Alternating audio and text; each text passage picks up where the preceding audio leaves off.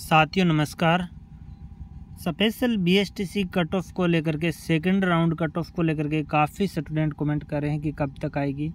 तो इस वीडियो में अपने पूरी चर्चा करेंगे वीडियो को लास्ट तक ज़रूर देखना। और काफ़ी कमेंट कर रहे हैं कि क्या हमारे तीस नंबर हमारे को कॉलेज मिल जाएगा। तो साथियों, ये जो सेकेंड राउंड लिस्ट है, इसमें जिनका नाम आना है, उसका आ जाएगा। उसके बाद में एक थर्ड लिस्ट आएगी, ठीक है? जो स्टूडेंट्स एडमिशन नहीं लेगा, दोनों फ़र्स्ट और सेकंड लिस्ट में कॉलेज की जितनी सीटें वो खाली रह जाएगी, क्योंकि कई स्टूडेंट्स होते हैं जिनको दूर कॉलेज मिलने के कारण वो एडमिशन नहीं लेते। तो उनसे, उनकी जितनी भी सीटें खाली रहती है थर्ड लिस्ट में वो ये सिस्टम है कि पहले आए और पहले पाएँ। जितने भी स्टूडेंट्स आए वो आप सबसे पहले जा कर के कॉलेज में सबसे पहले बात कर लेना अपने अपने जिन्होंने अपना अपना कॉलेज बनाया कि, सर, इसमें जो सीटें खाली है तो आप उसके बाद में डायरेक्ट उनसे थर्ड राउंड लिस्ट में आप डायरेक्ट उनसे एडमिशन ले सकते हो, जितनी भी सीटें खाली बचेगी।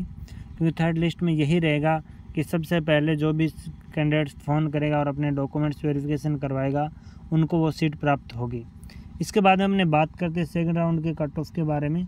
तो सेकेंड राउंड में कट ऑफ़ लगभग साथियों बत्तीस प्लस रहेगी, इससे कम नहीं जाएगी। जिसके बत्तीस नंबर है तो उसके अलॉटमेंट लेटर मिल सकता है उनको।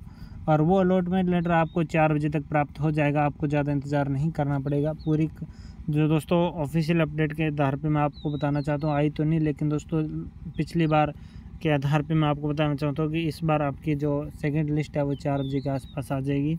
अब आपको इंतज़ार नहीं करना, जैसे ही आपकी लिस्ट आएगी, आपको अपने जगह पे सबसे पहले बता दीजिएगा तो चैनल को सब्सक्राइब करके रखना और बेलाइकन को ऑन रखना ताकि आपको नए वीडियो के माध्यम से आपको सबसे पहले सूचित हो जाएगा। Thank you okay bye